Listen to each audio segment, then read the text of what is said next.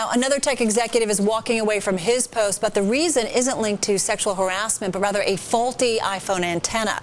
The man responsible for Apple's iPhone and iPod hardware, Mark Papermaster, is leaving the company following criticism of the phone. So, is this the end game of Antenna Gate, or is there more to come in the iPhone 4 story? Joining us right now is Ken Schapiro. He's the president of Condor Capital Management. Ken manages $600 million in assets, and Apple is his largest equity holding. Ken, great to have you here on Bloomberg. Thank you, Carol. What are you What are you hearing uh, about this change, this executive walking away? You know, I think it was this. The, the thing with the antenna gate was kind of the last straw. When this um, particular executive, um, Mark Papermaster, came over to Apple, there was a big cloud with IBM. In fact, there was some lawsuits going back and forth, mm -hmm. and and they actually had to sign off every quarter on kind of sharing of information not happening.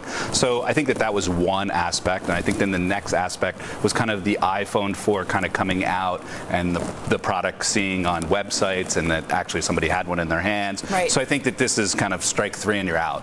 I mean, is he the man responsible for the mistakes? Is it the right executive to go in your view? You know, I don't think that the antenna was necessarily his fault. I think that this was just kind of a series of events um, with this particular thing. And I really don't think that this antenna is a big deal. You really don't think it's a big deal? No, I mean, you know, I, there are rumors out on the street today that Apple has actually upped their orders for components, that they're looking to ship 10 million iPhone 4 units units. So it's not hurting them? No, it's definitely consumers telling you we're still buying the product. The product works pretty well with the bumpers. You know, I think that this is kind of a natural progression. You know, consumers have a passion for their products. It's one of the few companies you can actually say that about. It's interesting. What do we know about Bob Mansfield? He's the guy who's taking over for Mark Papermaster. You know, he was more of a technical guy in charge of a few different technical areas of the iPhone, so putting kind of a more technical guy in charge of that product I think could be beneficial. I mean, do you think Apple, I mean, many would say that they didn't handle this very well well. Do you feel like they have a grip, they have control of the situation at this point? Oh, I absolutely do. I, you know, I'm sitting here on the media, but I think that the media in and of itself is kind of making a little Are bit. Are you going to blame us? I know. a little bit of a bigger deal out of this than it is. But what about, you know, Steve Jobs and his control of the company? I mean, is it surprising that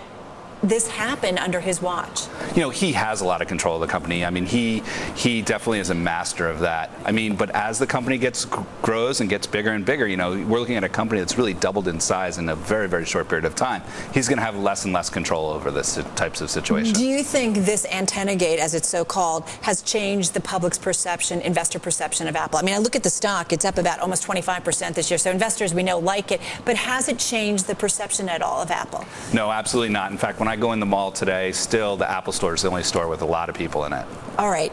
What's what's next then in terms of investors kind of focusing on what comes from Apple next? You know, there's several rumors out there. There's rumors for a new Apple TV product out there right. with kind of an interface similar to an iPhone. There's a rumor for, with a 7-inch iPad coming out, which kind of would be a Kindle type killer because right. it would be at a much lower price point.